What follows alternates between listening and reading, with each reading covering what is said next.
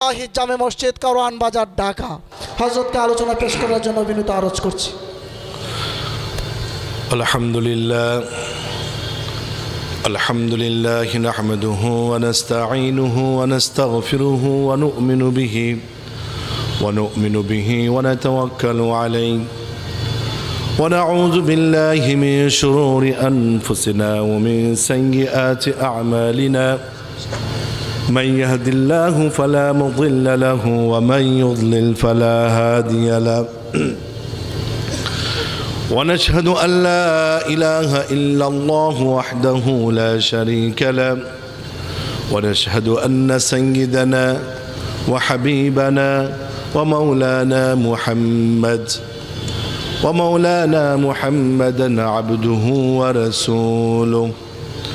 أرسله بالحق بشيرا ونذيرا وداعيا إلى الله بإذنه وسراجا منيرا.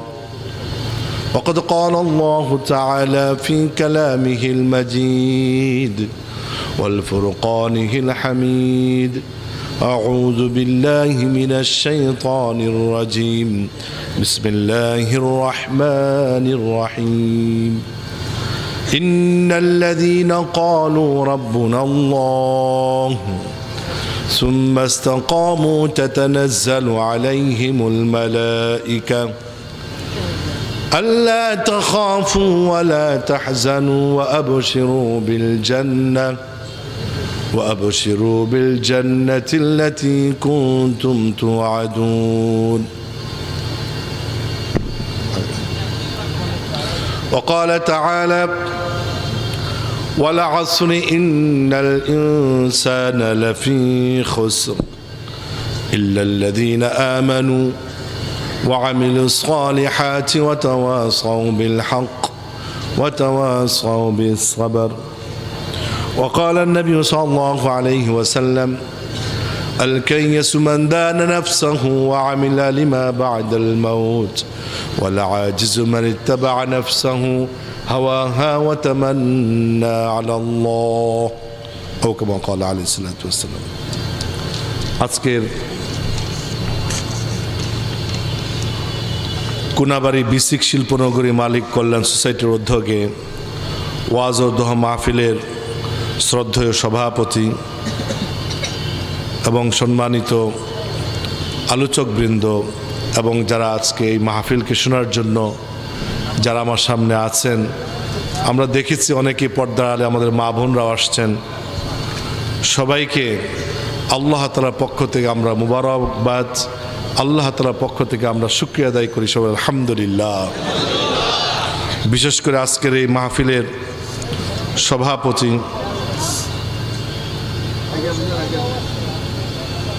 জনাব কৃষিবিদ জনাব ফারুকুল ইসলাম সাহেব আরও উপস্থিত আছেন আমার ডাইনোপবিষ্ট দেওয়ান আরিফ ইসলাম ফারুক সাহেব, সিনিয়র সহ সভাপতি সবচেয়ে ওনার বড় পরিচয় হলো উনি আমাদের আম্বর্ষা শাহিজা মসজিদের সম্মানিত সাধারণ সম্পাদক এবং বাংলাদেশে একজন বিশিষ্ট ব্যক্তি যাকে খুব পরিচিত বাংলাদেশের আনাচে কানাচে যাকে সবাই চিনে। এবং আজকের আলোচক হিসাবে উপস্থিত হয়েছেন আমাদের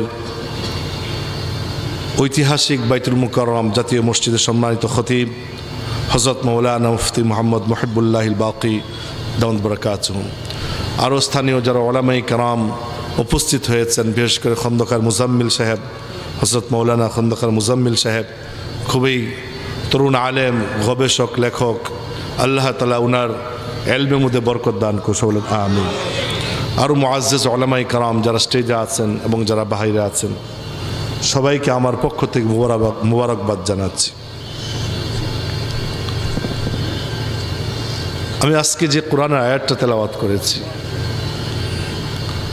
আল্লাহ তালা পুরা কোরআনের মধ্যে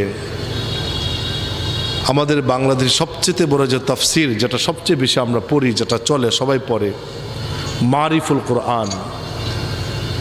এই তাফসিরে আসছে যে আল্লাহ তালা যদি পুরা কোরআনকে নাজিল না করতেন, শুধু একটা সুরাই এই উম্মতের জন্য যথেষ্ট ছিল, আর এই সুরাট হলো সুরাতুল আসার। এটাই যথেষ্ট ছিল। কেয়ামত পর্যন্ত সমস্ত উম্মতের জন্য একটা সুরাই যথেষ্ট ছিল, সেটা হলো সুরাতুল আসার। এই সুরাতুল আসরকে আমি তেলাওয়াত করেছি। আমি একটা হাদিস তেলাওয়াত করেছি।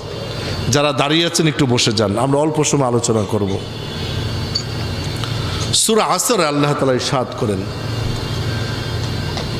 ওয়ালা আসরি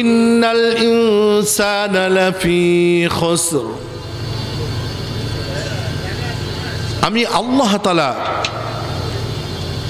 আমি সময়ের কসম করছি। আমি আসরের সময়ের কসম করছি। সমস্ত মানুষ পৃথিবীতে যত ধর্মের, যত বর্ণের, যত ধরনের, সে ব্যবসায়ী হোক, সে শ্রমিক হোক, সে চাকরিজীবী হোক, সে হিন্দু হোক, খ্রিস্টান হোক, বৌদ্ধ হোক, পৃথিবীর যত মানুষ আছে, সমস্ত মানুষ ক্ষতিগ্রস্তের মধ্যে। সমস্ত মানুষ।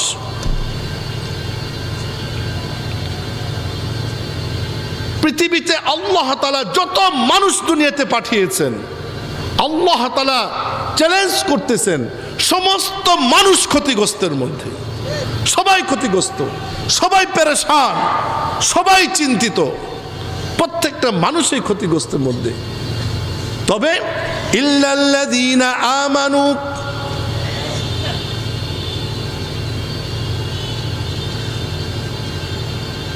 যারা আমি আল্লাহ তালার উপর ইমান এনেছে ওয়ামিনু সলিহাত, যারা আমলে সলেহ করেছে।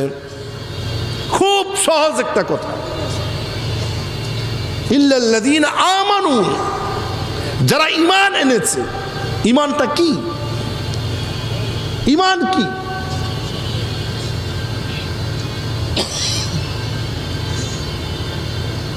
ইমান হলো ওটাই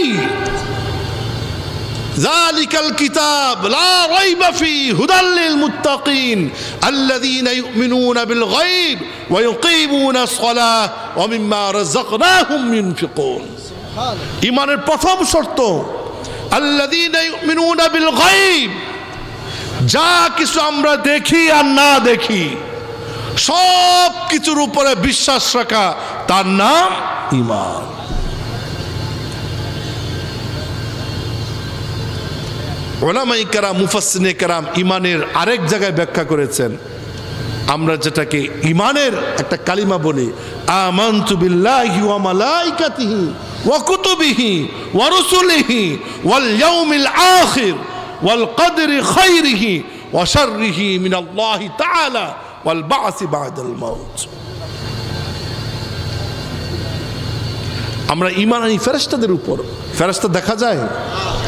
দেখা যায়?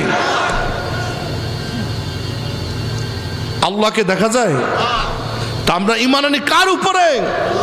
যা দেখি আর না দেখি। আল্লাহ তারা যা বলেছেন, প্রত্যেকটা কাজের সাথে, প্রত্যেকটা হুকুমের সাথে আমার নিজেকে মিলানো। এর নাম হলো ইমানদার এর নাম ইমানদার আজকে আমি মুসলমান। আমি নিজেকে মুসলমান দাবি করি। অথচ আমি মুসলমান দাবি করি। অথচ আমার কাছ থেকে আল্লাহ তালা হুকুম বার বার চলে যাচ্ছে বার বার লঙ্ঘিত হচ্ছে। তারপর আমি নিজেকে মুসলমান দাবি করি। আজকে মুসলমানের অধপতন কেন? আজকে মুসলমানদের অবস্থা কেন? মুসলমান তো ছিল রাজা, মুসলমানরা ছিল বাদশাহ, মুসলমানরা সারা পৃথিবীকে চালিয়েছে। অর্ধ জাহানের বাদশাহ ছিল হজরত ওমর রাজি আল্লাহ আনহু। এরপর সমস্ত খলিফারা সারা পৃথিবীকে মুসলমানরা চালিয়েছে। আজকে মুসলমানরা হয়ে গেছে ভিক্ষুকের দল। কেন? একটাই কারণ, সেটা হলো আল্লাহ তালা আমাদেরকে যে উদ্দেশ্যে দুনিয়াতে প্রেরণ করেছেন, বানিয়েছেন, সেই উদ্দেশ্য থেকে আমরা সরে গিয়েছি। আজকে যারা ব্যবসা করে, আজকে যারা ব্যবসা করে, এই ব্যবসার হুকুম কি? তার ফাজাইল কি? আজকে ব্যবসায়ীরা ভুলে গিয়েছে। ব্যবসাদের আল্লাহ তালা মর্যাদা কতটুক দিয়েছেন? আজকে ব্যবসায়ীরা ভুলে গিয়েছে। আবার যারা শ্রমিক, শ্রমিকের মর্যাদার কতটুক, শ্রমিক তার মর্যাদাকে ভুলে গিয়েছে। যার জন্য যে ব্যবসা করে, সেও ক্ষতির মধ্যে, যে শ্রমিক, সেও ক্ষতির মধ্যে। ব্যবসা করে যে, সে শ্রমিককে বিশ্বাস করে না, আবার শ্রমিক মালিককে বিশ্বাস করে না। কেন? কারণ একটাই যে আমরা আল্লাহর হুকুমকে ভুলে গিয়েছি। আল্লাহ তালা বলেন, ইন্নাল ইনসান আমানু যে তোমরা আমলে সালেহ করো।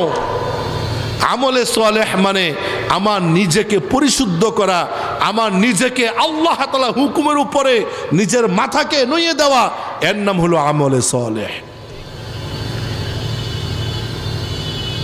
এর নাম আমলে সালেহ। আজকে আমার ভিতর থেকে আল্লাহ তালার হুকুম কতভাবে লঙ্ঘিত হচ্ছে?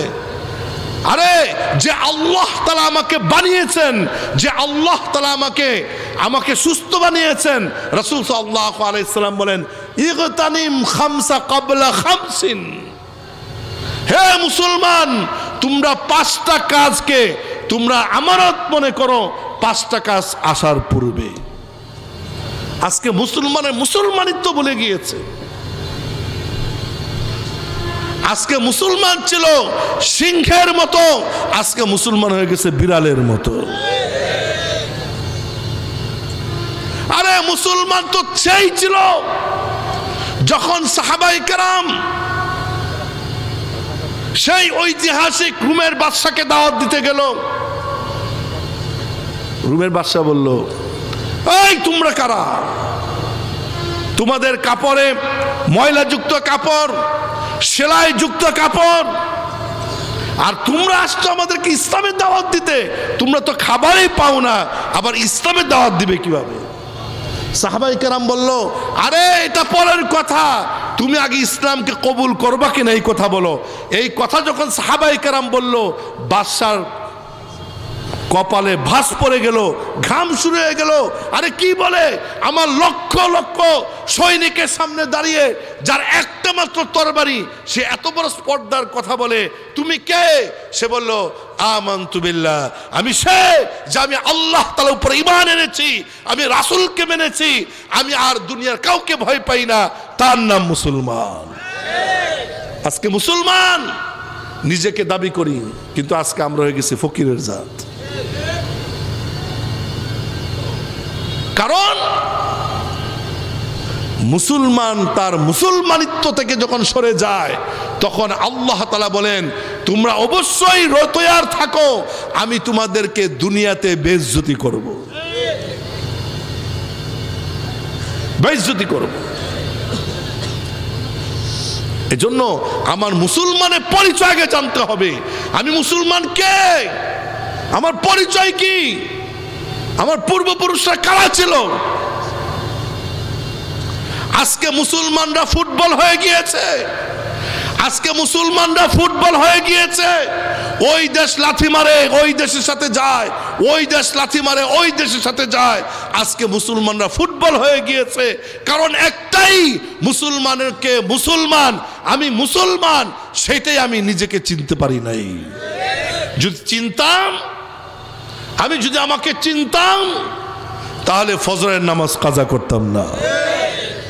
আজকে আমি মুসলমান, ফজরের নামাজ পড়ি না। আজকে আমি মুসলমান, জুমার নামাজ পড়ি না। আজকে আমি মুসলমান, জুহুরের নামাজ পড়ি না। আজকে আমি মুসলমান, আমি মালিকের আমানতর খেয়ানত করি। আজকে আমি মুসলমান, মালিকের দেওয়া চাকরিকে আমি আমানতর খেয়ানত মনে করি। আজকে মালিকের ধন সম্পদকে আমি নষ্ট করি।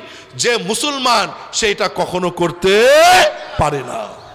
আর মালিক সে কখনো শ্রমিককে ঠকাবে না, সে যদি সত্যিকারের মুমেন, সত্যিকারের মুসলমান হয়ে থাকে। রসুল সাল্লাহ আলাইসাল্লাম বলেন আত্মাজির সদুকুল আমিন মান নবিজ্ঞিন ও সিদ্দিকিন ও সুহাদা ও সালেহিন। হে ব্যবসায়ীরা, রসুল সাল্লাহ আলাইসাল্লাম বলেন, হে ব্যবসায়ীরা, তোমাদের মান কত? তোমাদের শান কত? তোমরা জানো? রসুল সাল্লাহ আলাইসাল্লাম বলেন, যারা সৎ ব্যবসায়ী, যারা সততার সহিত ব্যবসা করে, যারা ফ্যাক্টরি চালায়, যারা ইন্ডাস্ট্রি চালায়, যারা শ্রমিককে ঠকায় না, তার যেটা ন্যায্য পাওনা, সেটাকে সে আদায় করে। আল্লাহ রসুল সাল্লাহ আলাইসাল্লাম বলেন, ওই ব্যবসায়ী কেয়ামতের দিন সে নবীদের সাথে হাসর হবে সিদ্দিকিনের সাথে হাসর হবে, সালিহিনদের সাথে হাসর হবে, সে বিনা হিসাবে জান্নাতে চলে যাবে। এটা হলো যারা মালিক পক্ষ আর শ্রমিক পক্ষ। রাসুল সাল্লাহ আলাইসাল্লাম বলেন, হাই, তোমরা কি জান্নাত চাও? যারা শ্রমিক, তাদের জন্য জান্নাত এত সহজ। রাসুল সাল্লাহ আলাইসাল্লাম বলেন, যারা শ্রমিক, তারা ধনীদের চেতে পাঁচ শত বছর আগে জান্নাতে চলে যাবে। মুসলমান কাকে বলে? মুসলমান তো সেই যে তার হকটা পুরাপুরি সে জানে যে আমার হক কি, সে কখনো মালিককে ঠকাবে না, সে জেনে শুনে কখনো ফ্যাক্টরির ক্ষতি করবে না, সে জেনে শুনে কখনো মালিকের মালপত্রকে নষ্ট করবে না। তার নাম মুসলমান, তার নাম শ্রমিক। আমার যেরকম দায়িত্ব মালিকেরও সেরকম দায়িত্ব এই কাজ যদি হয় আল্লাহ তালা কি দিবেন আল্লাহ তালা বলেন من عمل صالحا من ذكر أو أنثى وهو مؤمن فلنحيينه حياة طيبة যারা দুনিয়াতে নেক আমল করবে যারা তার কাজটাকে সঠিকভাবে পরিচালনা করবে, যে ব্যক্তি ঘুম থেকে উঠে আল্লাহ তালা হুকুমকে মানবে, সারাদিন আল্লাহ তালা যে হুকুম করেছে, ওটার উপর সে পরিচালিত হবে এবং রসুল সাল্লাহ আলাইসাল্লামের সুন্নতের উপরে সে নিজেকে লাভবাহিক বলবে, আমি আল্লাহ তালা ওয়াদা করতেছি, দুনিয়াতেই তাকে জান্নাতের আরাম দিব। দুনিয়াতেই তাকে জান্নাত দেওয়া দিব। من عمل صالحا من ذكر أو أنثى وهو مؤمن তৈঙ্গিবা যারা দুনিয়াতে আমলে সলেহ করবে, হকগুলো আদায় করবে, আল্লাহ তালার হকগুলো আদায় করবে, মানুষের হক আদায় করবে, শ্রমিক সে মালিকের হক আদায় করবে, মালিক শ্রমিকের হক আদায় করবে, প্রত্যেকের প্রত্যেকের হক যখন আদায় করবে, হালালের উপরে চলবে, আমলে সলেহ করবে, আল্লাহ তালা বলেন, দুনিয়াতে তাকে আমি জান্নাতের যত ধরনের সুখ শান্তি রয়েছে আল্লাহ তালা এই আয়তে ওয়াদা করেন ইন্নাল্লাযীনা ক্বালু রাব্বুনা আল্লাহু সুম্মা ইসতাকামু তাতানাজ্জালু আলাইহিমুল মালাঈকা আল্লা তাখাফু ওয়ালা তাহজানু ওয়া আবশিরু বিল জান্নাহ ওয়া আবশিরু বিল জান্নাতিল্লাতী কুনতুম তুআদুন যারা যারা এই কথা মানবে আল্লাহ তালা এক আল্লাহ তালা আমার রব, আল্লাহ তালা আমাকে পালনেওয়ালা, আল্লাহ তালাই সব কিছু করেন। আসমান বানিয়েছেন, আল্লাহ তালা জমিন বানিয়েছেন, আল্লাহ তালা আমাকে আল্লাহ তালা বানিয়েছেন। এই কথার উপরে যে ইস্তেকামত থাকে, ইন্নাল্লাযীনা ক্বালু রাব্বুনা আল্লাহু সুম্মা ইসতাকামু, তাতানাজ্জালু আলাইহিমুল আল্লাহ তালা বলেন, আমি তার জন্য দুনিয়াকে এমন এক আরামের বাসস্থান বানিয়ে দিব, তার কোনো পেরেশানি থাকবে না, দুনিয়ার কোনো পেরেশানি থাকবে না, তার পারিবারিক কোনো পেরেশানি থাকবে না, সমস্ত এক পেরেশানি জিন্দিগি দান করব, তার কোনো ভয় থাকবে না, তার কোনো চিন্তা থাকবে না, এবং তাকে কেউ ভয় দেখাবে না। মালিক যদি শ্রমিকের হককে আদায় করে, মালিক কাউকে ভয় পাবে না, মালিকরেও কাউকে ভয় দেখাবে না, কোনো সন্ত্রাসী থেকে ভয় দেখাবে না, তার ফ্যাক্টরিতে কখনো অবাধ্য শ্রমিক কখনো ঢুকবে না, তার ফ্যাক্টরিকে কেউ ক্ষতি করবে না। আল্লাহ তাখাফু ওয়ালা তাহজানু, তার কোনো টেনশন থাকবে না। আল্লাহ তালা ওয়াদা করেন, ওয়ালা তাহজানু ওয়া তু আদুন আমি আল্লাহ তালা ওয়াদা করতেছি, দুনিয়াতে তাকে জান্নাতের জিন্দিগি দান করব। ওয়াবশিরু বিল জান্নাত আমি আল্লাহ তালা তাকে জান্নাতের সুসংবাদ দিলাম। সে জান্নাতের সুসংবাদ পাবে। জান্নাতিল্লাতি শর্ত কি বলেন? শর্ত কি বলেন? শর্ত একটাই, আমার হকটাকে আমি আদায় করব। আমার হককে আমি আদায় করব। আজকে শ্রমিক, সে তার মালিককে কাউন্টার ভাবে, সে মালিককে শত্রু ভাবে। অথচ এই মালিকের ঘাম, মালিকের শ্রম, মালিকের চিন্তা, মালিকের পেরেশান, সে কীভাবে শ্রমিককে বেতন দিবে আর শ্রমিক মালিককে শত্রু পাবে কেন? ভিতরে ইসলাম না থাকার কারণে। ভিতরে আমল না থাকার কারণে ইমান না থাকার কারণে আজকে মালিক শ্রমিকদেরকে শত্রু পাবে কেন? ভিতরে ইসলাম না থাকার কারণে। এই জন্য জান্নাত। আল্লাহ তালা বলেন, আমি বান্দাকে দুনিয়াতেই জান্নাতে সুখ শান্তি দিব, সে যদি তার হকগুলো আদায় করে।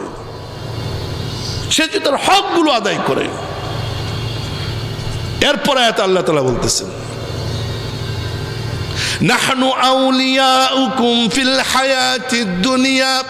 نحن أولياؤكم في الحياة الدنيا وفي الآخرة ولكم فيها ما تشتهي أنفسكم ولكم فيها ما تدعون আমি আখেরাতেও যেরকম দিব ও আমার বান্দা তুমি আমার কাছে কি চাও আল্লাহ তালা বলেন হাদিসে কুদসি আলা আলা মুস্তাগফিরিন ফাগফির লাক আলা মুস্তারজিকিন ফারজুকা ও আমার বান্দা, তুমি আমার কাছে কি চাও? আমার কাছে টাকা চাও। আমি আল্লাহ তালা টাকা দিব। আমি শ্রমিক আমি শ্রমিক, আমার হীনমন্যতা নেই। আল্লাহ তালা বলেন আমার কাছে শ্রমিকের কোনো দাম নাই, আমার কাছে কোনো ধনির দাম নাই, আমার কাছে দাম হলো ওই ব্যক্তি, যে যত বেশি তাকওয়ালা হবে, যে যত বেশি আমি আল্লাহ তালা হুকুমকে মানবে, সেই হলো আমার কাছে সবচেয়ে বড় দামি। সেই সবচেয়ে আমার কাছে বড় দামি। ইয়া আমানুত্তাকুল্লাহ হে ইমানদাররা, হে তাকওয়ালারা, যারা আল্লাহ তালাকে ভয় করো, তারা শুনে রাখো, তোমাদের জন্য পুরস্কার, তোমাদের জন্য শুধু পুরস্কার। তুমি কি চাও? আলা ফারজুকা তুমি কি চাও তোমার মাল সম্পদ বেড়ে যাক? তুমি টাকা পয়সার মালিক হয়ে যাও। আমার আল্লাহ তালা বলেন, ফতাহাজ্জাদ বিহি নাফিলাতাল্লাক তুমি শেষ সাথে দাঁড়িয়ে যাও। আমার সামনে যখন শেষ সাথে তুমি মোনাজাত করবে, ফাতাহাজ্জাত বিহি নাফিলাত আল্লাহ তাহাজ্জতকে তোমার জন্য নফল করেছি? কেন? তুমি আমার বান্দা, আমি, তুমি আমার তুমি আমার তুমি আমার বান্দা, তুমি আমার গোলাম, আমি তোমার আল্লাহ তোমার আল্লাহ আমি এই কথা যখন স্বীকার করবে, তুমি যখন রবের বশ্যতা স্বীকার করে, আল্লাহ তালার কাছে যখন তুমি চাইবে, আল্লাহ তালা বলেন আলামি মুস্তার ও আমার বান্দা, তুমি আমার কাছে কি চাও?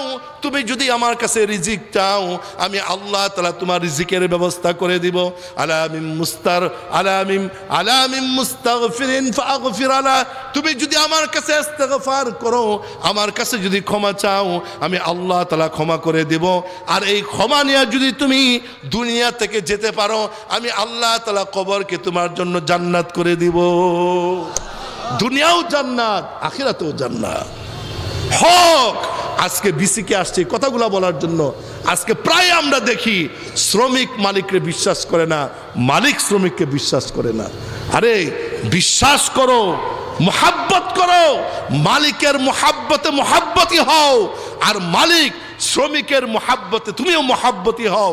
দেখবা আল্লাহ তারা তোমার এই ব্যবসাকে একটা জান্নাতের পরিবেশ করে দিবে। আজকে শ্রমিক মালিককে বিশ্বাস করে না, মালিক শ্রমিককে বিশ্বাস করে না। এই জন্য দুনিয়াতে জান্নাত কত কিছু চলতেছে। পেরেশান পেরেশান। আগে যখন প্রথম কিছু কথা শুনে যান, বেসিক কথা শুনে যান, আগে যখন মানুষ অল্প টাকা বেতন পাইতো, মনটা ভরে যাইতো, এখন বেতন বাড়ানো হয়েছে তারপর অস্থিরতা যায় না, পেরেশানি যায় না। কারণ কি? কারণ একটাই, সেটা হলো আল্লাহর হুকুমের প্রতি আমি পাবন্দি নই। আমি আল্লাহর হুকুমতে পাবন্দি নই। আল্লাহর হুকুমকে মানো, রাসুলের সুন্নতকে ধরো, আল্লাহ তালা তোমাকে দুনিয়াতে জান্নাত দিয়া দিবেন আমি মুসলমান। আল্লাহ তালার ওয়াদা, যে মুসলমান তাকে আল্লাহ তালা বলেন, দুনিয়াতে তাকে বাদশাহী দান করবেন। বাদশাহী মানে কি?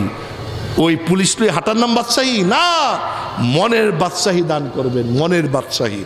মনের বাদশাহী কীরকম? যা মন চাইবে ওলা তাস্তাহি আনফুসুকুম। আল্লাহ তালা বলেন, তোমার মন যা চাইবে, আমি আল্লাহ তালা শুধু চাইতে দেরি, আমি আল্লাহ তালা তোমাকে দেয়া ভরপুর করে দেব। মা তাস্তাহি আনফুসুকুম, ওয়ালাকুম ফিহা মা তাদদাউন।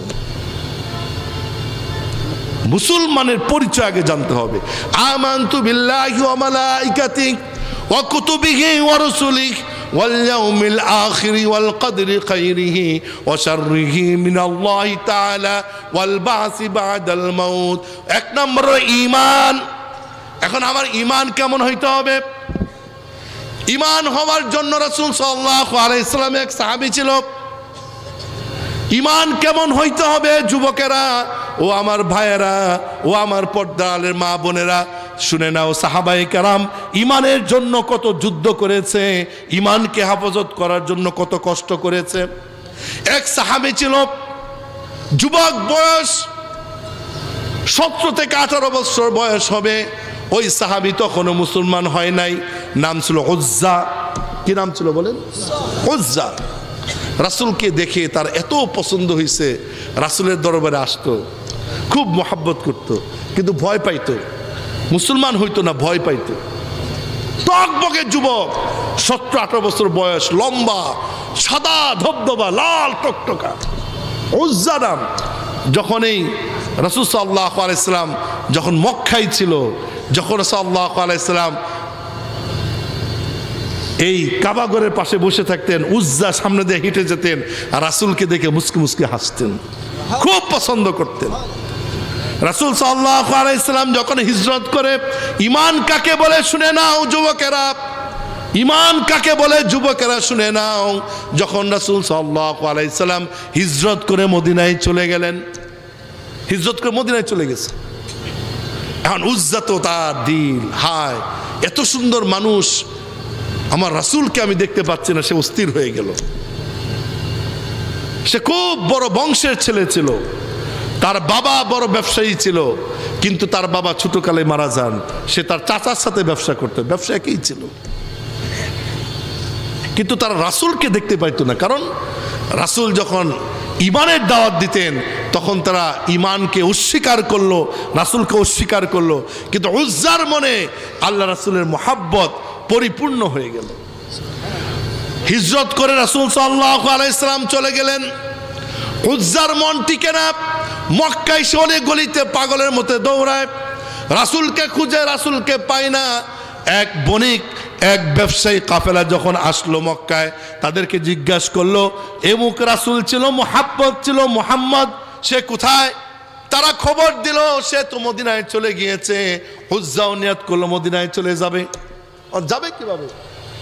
তার তো টাকা পয়সা নাই। অনেক দূর মক্কা থেকে মদিনা। কীভাবে সে যাবে?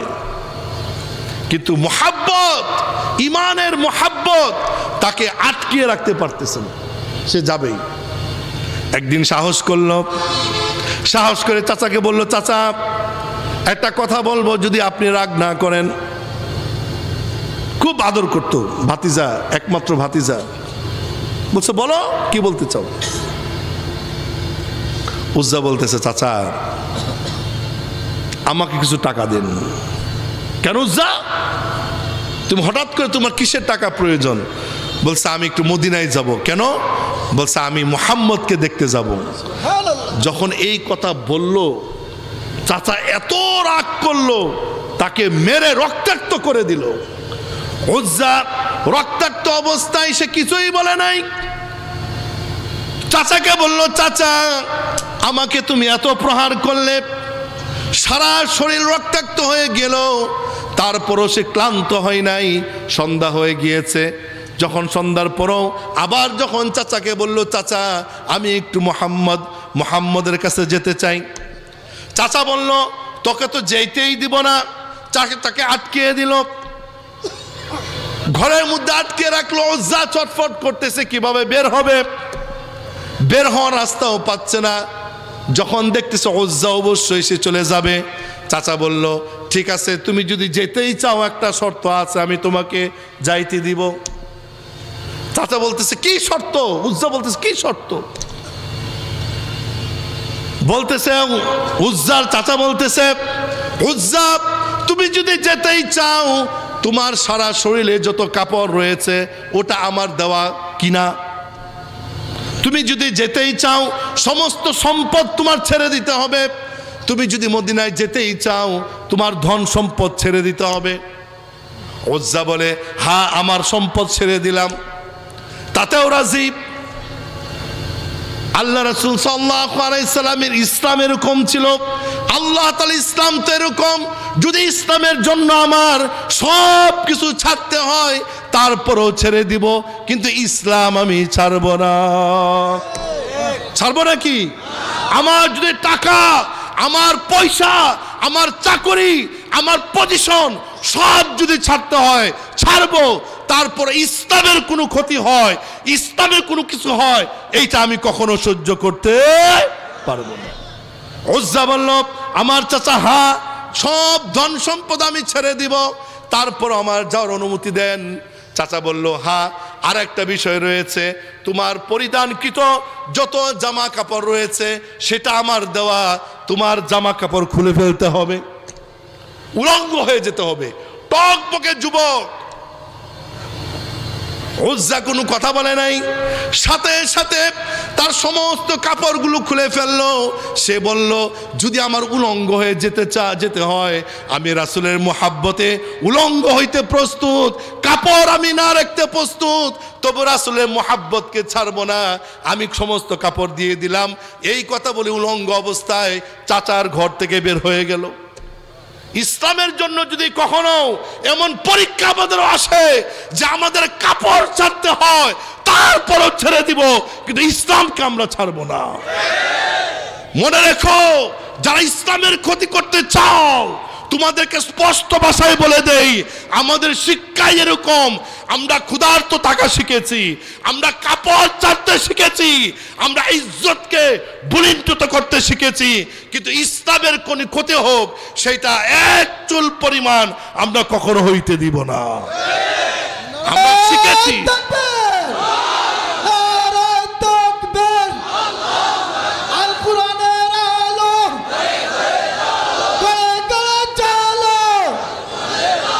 হুজ্জামল্ল আমার চাচা, নিয়ে যাও আমার যত ধন সম্পদ, আমার যত কাপড় পরিধান কিন্তু সব নিয়ে যাও। উজ্জ্বল অঙ্গ হয়ে গেল।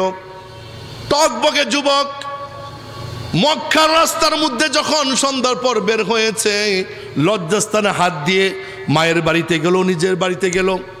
ওজ্জার আশা হলো, আমি যখন মায়ের কাছে সামনে দাঁড়াবো, নিশ্চয়ই মা আমাকে নৈরাশ করবে না। উজ্জা মায়ের মায়ের দরজার সামনে দাঁড়িয়ে মাকে আওয়াজ দিল।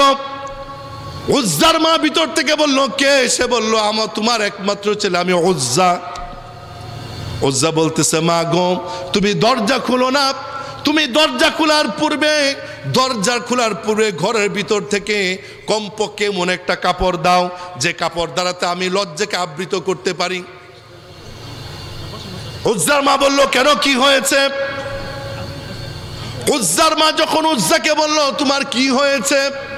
উজ্জা বলল, "ও মা, আমি রাসুলের কাছে যেতে চাই, আমি মদিনায় যেতে চাই। যখন উজ্জা এই কথা বলল, মা ঘর থেকে বলল, উজ্জা, তুই মরে যা, তোর কোনো আমার এরকম ছেলের প্রয়োজন নাই। যে বাপ দাদার ধর্মকে ছেড়ে রাসুলের মোহাম্মদের ধর্ম নিবে, এরকম ছেলে আমার প্রয়োজন নাই। এই কথা বলে ওজ্জার মা দরজাকে আরও টাইট করে লাগিয়ে দিয়েছে। ওজ্জা কাঁদতে কাঁদতে মদিনার পথে রওনা হলো। ওজ্জা উলঙ্গ, তার কোনো কাপড় নাই। ভিতর থেকে বলল, মা, আমি তোমার এরকম একটা ছেলে, সুন্দর ছেলে, কমপক্ষে এমন একটা কাপড় দাও, যে কাপড় দ্বারাতে আমি লজ্জাস্থানকে আবৃত করতে পারি। ইসলাম, এত সহজ। আজকে ইসলাম আমরা ভাবি, মুসলমান আমি হয়েছি, আমি কত সহজে মুসলমান হয়ে গিয়েছি। মুসলমান এত সহজ নয়। আল্লাহ তালা কেমতের দিন উজ্জাকে সামনে দাঁড় করিয়ে বলবেন কেমন ছিলে যে ইসলামের জন্য তোমার লজ্জাকে তুমি নিবারণ, তুমি লজ্জাকে পর্যন্ত তুমি ছেড়ে দিয়েছিলে, কিন্তু ইসলামের ক্ষতি হোক, সেটা চাও নাই। এমন কোন বান্দা আছো, কেয়ামতের দিন আমাদের সামনে উজ্জাকে দাঁড় করাবে। এত সহজ নয়। উজ্জা বলল, আমার মা, আমাকে এমন এক টুকরো কাপড় দেন, যে কাপড় দ্বারাতে আমি আমার লজ্জাস্থানকে আবৃত করতে পারি। মা বলল, ঠিক আছে, ঘরের ভিতর থেকে একটা গামছা দরজার উপর দিয়ে উজ্জাকে দেয়া দিল। উজ্জা ক্ষুধার্ত অবস্থায় গামছাটা বেঁধে মদিনার দিকে রওনা হলো। তিন রাত, তিন দিন, তিন রাতের পর মদিনায় পৌঁছালো। যখন মদিনায় পৌঁছালো শেষ রাত্রিতে, রাসুল সাল্লাহ ইসলামের কামরার সামনে দাঁড়িয়ে আছে। শীতের দিন টকবকে যুবক কাঁপতেছে। রাসুল সাল্লাহ ইসলাম যখন শেষ রাতে উঠলেন, উঠে দেখে এক যুবক বলতেছে, তুমি কে? বলছে, আল্লাহ রাসুল, আমি অজ্জা আপনার মোহাব্বতে আমি মক্কাকে ছেড়ে চলে আসছি। বলছে, উজ্জা, এই অবস্থা কেন তোমার? উজ্জা বলে, আল্লাহ রসুল, আপনার মোহাব্বতে আমি ঘর ছেড়ে দিয়েছি, আমি সম্পদ ছেড়ে দিয়েছি, আমি আমার সম্পদ ছেড়ে দিয়েছি, ঘর ছেড়ে দিয়েছি। শেষ পর্যন্ত আমার পরিধান কিন্তু কাপড় ওটাও আমি মক্কায় রেখে এসেছি। রসুল সাল্লাহ ঘরে গেলেন। ঘরে গিয়ে ওজ্জাকে দুইটা কাপড় দিলেন। তারপর ওজ্জা বলল, যাও, তুমি কাপড় পরিধান করে আসো। পরিধান করে আসলো। রাসুল সাল্লাহ আলাইসাল্লাম তাকে কালিমা পরায় মুসলমান করল। তারপর তাকে দুইটা কাপড় পরিধান করার পর তার নাম দুল আবদুল্লাহ জুলবাজাদাই তার নাম আবদুল্লাহ। ওজ্জা এত সৌভাগ্যবান ছিল। যেহেতু সে নতুন ইমান এনেছে এবং যুবক, সে মদিনার মসজিদে শেষ সাথে উঠে জুড়ে জুড়ে কোরআন তেলাবাদ করত। ওমার রাদি আল্লাহ তালু একদিন বলতেছে, হে হে আবদুল্লাহ বাজদাইন তোমার জন্য আমার আমার ডিস্টার্ব হয়। এই কথা যখন রাসুলের কানে গেল, রাসুল বলতেছে, ওমর, তুমি আবদুল্লাহকে কিছু বলো না। কারণ আবদুল্লাহ ইসলামের জন্য ইমান হ ইমানদার হওয়ার জন্য নিজের শেষ কাপড়টুকু সে ছেড়ে দিয়েছিল। তাও ইসলামকে ছাড়ে নাই।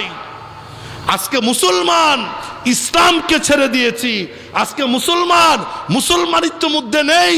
আজকে আমার ইসলামের উপরে যখন আঘাত আসে, আজকে মুসলমান কান পেতে শুনে, অথচ ইসলামের উপরে আঘাত আসে, মুসলমান ঘরে বসে থাকে, সে মুসলমান হইতে পারে না। আমি জীবিত থাকব আর ইসলামের উপর আঘাত আসবে। এই মুসলমান আমার প্রয়োজন নেই। ওজাব বাজেদাইন খুব জুড়ে জুড়ে কোরআন তালামাত করতেন। রসুল সাল্লাম ওমর রদুল্লাহ বলতেছে, হে উমর আবদুল্লাহ তাকে কিছু বলো না। কারণ সে ইসলামের জন্য তার সে সম্বলটুকু যে ছিল, এটাও সে মক্কায় ছেড়ে এসেছে। হঠাৎ করে যুদ্ধের দামামা বাজলো। হঠাৎ করে যুদ্ধের জন্য, জেহাদের জন্য প্রস্তুত হইতে লাগল। রাসুল সাল্লাহ আলাইসাল্লামকে বলল আবদুল্লাহ জুলবাজাদাইন হে আল্লাহ রাসুল, আমিও জেহাদে যেতে চাই। তোমার তো মাল নেই, তোমার অস্ত্র নেই, তুমি কীভাবে জেহাদে যাবে? বলতেছে আল্লাহ রাসুল, আমি জেহাদে যেতে চাই। আল্লাহ রসুল সাল্লাহ আলাই ইসলাম দোয়া করলেন, হে আল্লাহ, যে আবদুল্লাহ যে আবদুল্লাহ তোমার জন্য তার লজ্জাকে পর্যন্ত ছেড়ে দিয়েছে যে আবদুল্লাহ তোমার জন্য ঘর ছেড়ে দিয়েছে, যে আবদুল্লাহ তোমার জন্য তার সম্পদ ছেড়ে দিয়েছে। আল্লাহ আবদুল্লাহকে তুমি মানুষের কাছে লাঞ্ছিত করো না। আবদুল্লাহর জন্য দোয়া করল।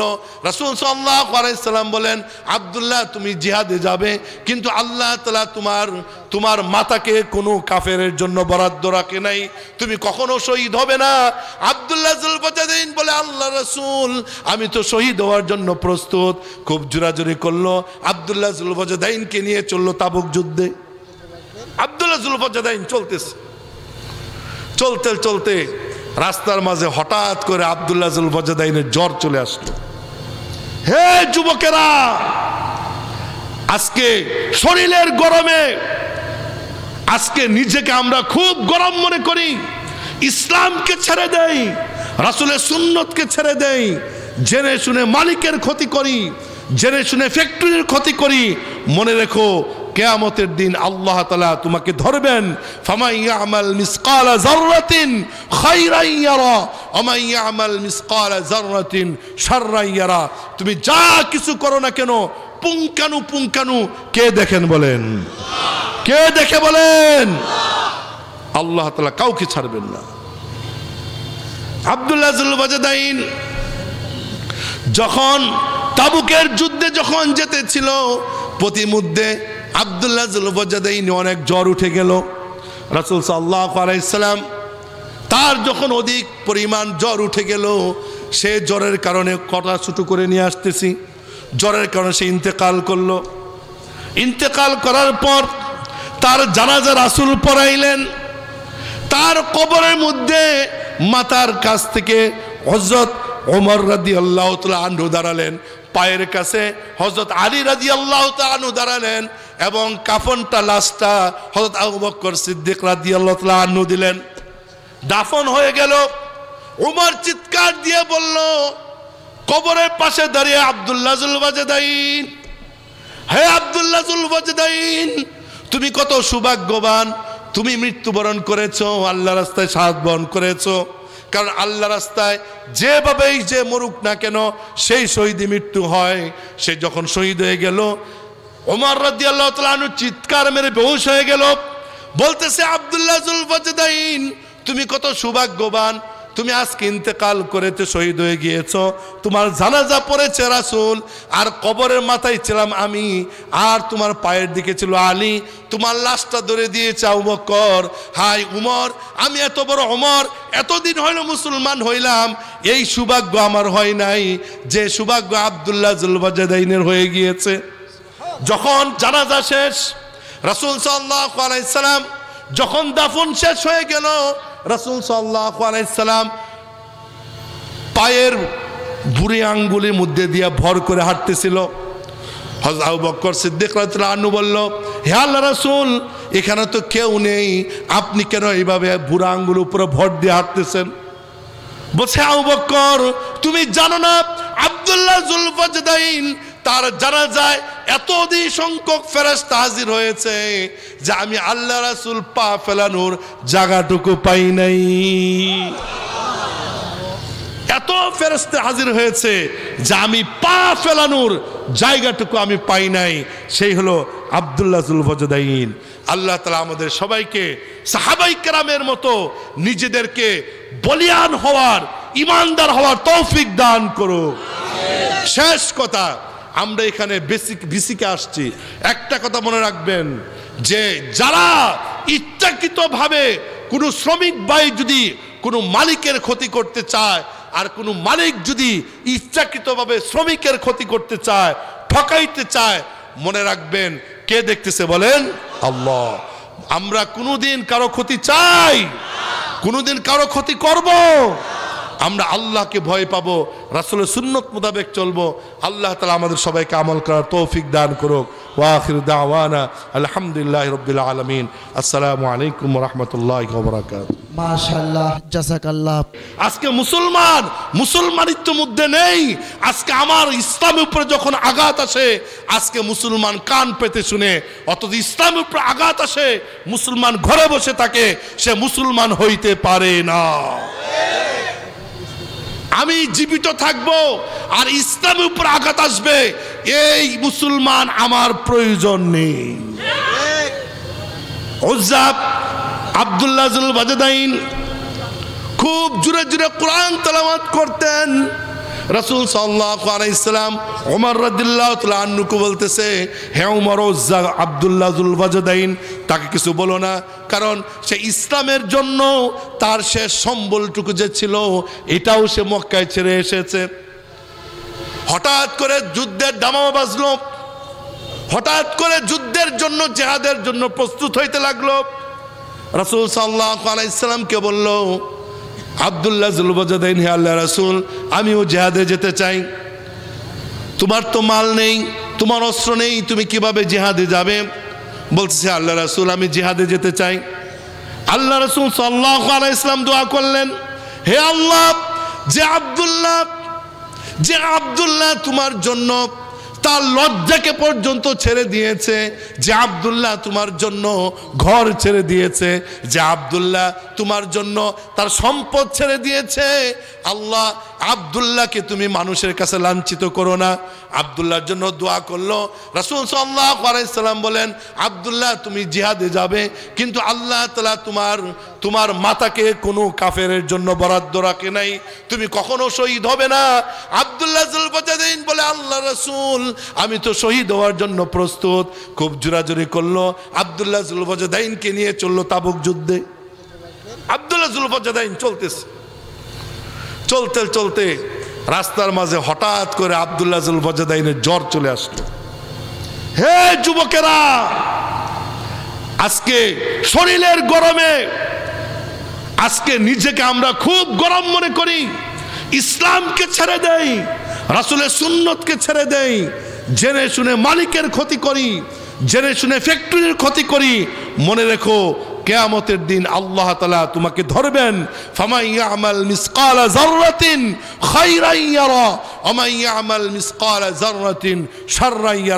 তুমি যা কিছু করো না কেন পুঙ্কানু পুঙ্কানু কে দেখেন বলেন?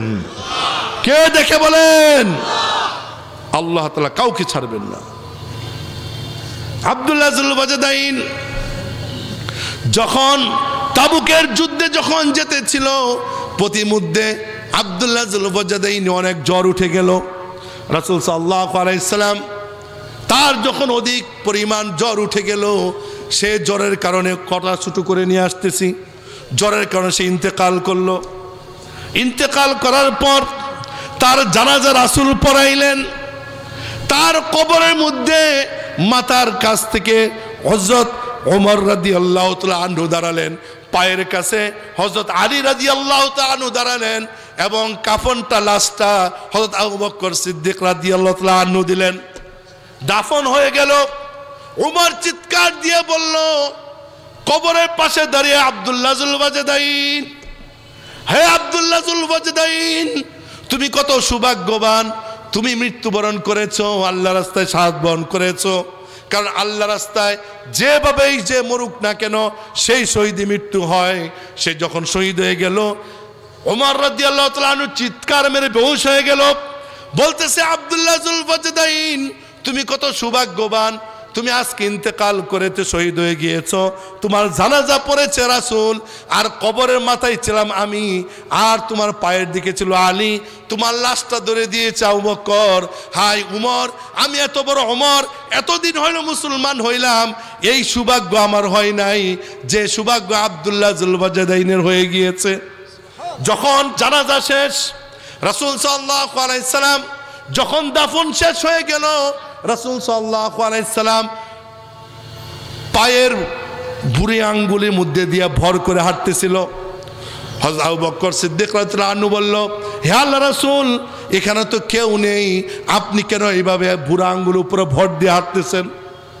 বলছে, আবু বক্কর তুমি জানো না, আব্দুল্লাহ জুলফাজদাইন তার জানা যায় এত অধিক সংখ্যক ফেরেস্তা হাজির হয়েছে যে আমি আল্লাহ রাসুল পা ফেলানোর জায়গাটুকু পাই নাই। এত ফেরস্তে হাজির হয়েছে যে আমি পা ফেলানোর জায়গাটুকু আমি পাই নাই।